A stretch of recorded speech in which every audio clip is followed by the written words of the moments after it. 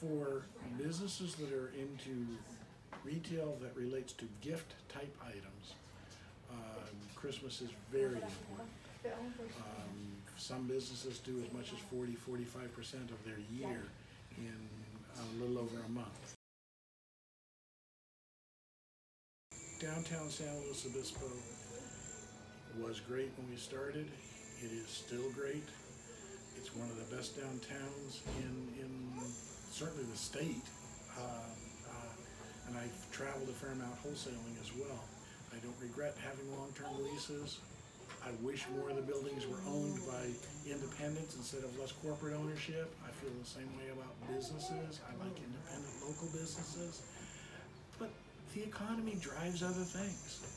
And we're still a wonderful town, and people still are friendly to each other, and they shop and they have fun.